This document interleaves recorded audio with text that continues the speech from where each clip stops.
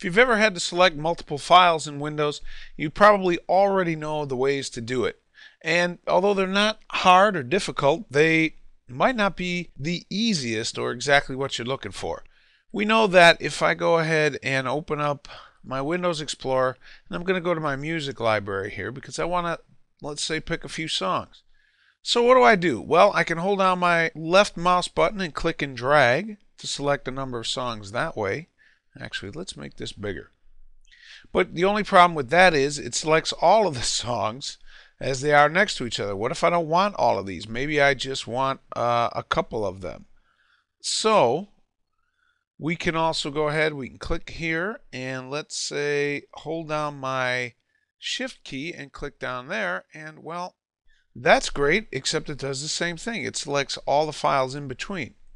You probably already know that if I select a file, hold down my control key, now I can go ahead and select a bunch of different files that are not next to each other. But watch what happens when I try to scroll uh, to get down beyond the bottom of my list there. Well, that's not exactly what I want either. That's a little bit confusing. And of course, if you let go of the control key, you can scroll down, but then what happens is you forget, you click, and oh man, all the songs that you had selected are not selected anymore, and you have to go back and start all over.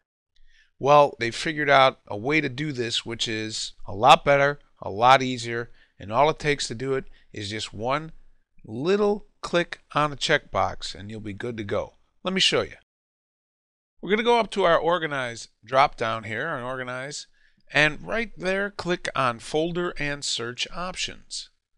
Once we're in the Folder Options window, we will click on the View tab and we're going to scroll down here a little bit till we find this one. Use checkboxes to select items. I'm going to check that, choose OK, and look what happens here. See that? As I hover over each of these, I get a little checkbox next to them. And all I have to do is click in that checkbox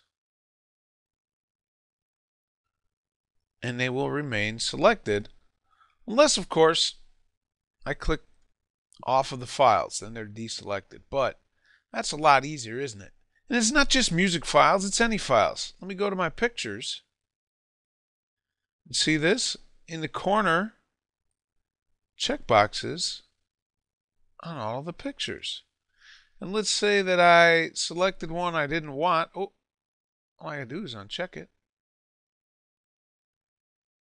I can even go in here and select folders and files at the same time. Pretty neat, huh? I don't know about you, but I like this a lot. And that's how you can use checkboxes to select multiple files. Thanks, and I'll see you next time. Thanks for watching. For more information regarding our training videos, please visit www.trainsignal.com.